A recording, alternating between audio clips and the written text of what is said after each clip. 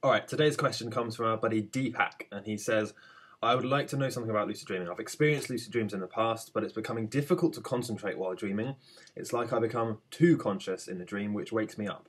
This didn't happen before, but nowadays, when I come to know that I'm dreaming, I tend to wake up. Uh, so, can you suggest anything? Yes, well, this is um, not something I get asked a lot, but I can offer you some perspective with this. When you begin to lucid dream, often in the beginning stages, you you become too excited, and this uh, this increased emotional engagement tends to wake you up because you're injecting your emotions, you're becoming excited and very engaged with what's going on in the dream, and this takes you to a, a higher state of consciousness, and you just you just wake up into completely. You just wake up and the dream ends. So, what I would invite you to do, and I actually wrote a blog post about this before, um, called the cinema technique. You can find this on my blog. I'll try and find a link and put it in the description for you. But the basic gist of it is to try and cultivate a sense of detached engagement from the dream. So once you become lucid and you realize that you're dreaming, try to uh, slightly detach from it.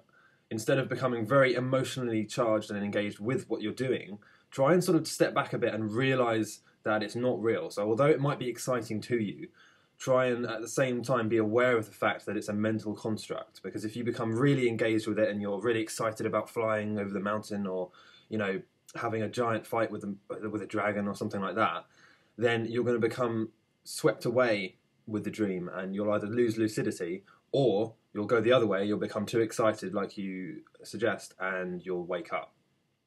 So try and be engaged with what you're doing and aware that it's a dream, but at the same time detached and uh, aware that it's not real and that you're not actually there. So it's a bit of a um, it's a bit of a balancing act to get this to work, and it all it comes with practice, you know. But um, yeah, and there are some times when you, when you'll want to be really engaged with it. For example, if you're doing something creative, if you're writing a song or you're trying to create some sort of art or get inspiration from the dream, you'll want to have that that more engaged state in the dream. You'll want to be very uh, focused and into what you're doing. So, and one of the downsides to that is that it may wake you up. But in general, it's better to have sort of a, a detached engagement with the dream. So you, you realize that you're dreaming, but you're not completely, uh, how to describe it, you're not completely um, in the dream. I'm hoping, I hope this makes sense to you. So if you have any other questions, please do send them into the channel. Uh, email me, send them on social media, Facebook, Twitter, uh, and I'll see you in the next video.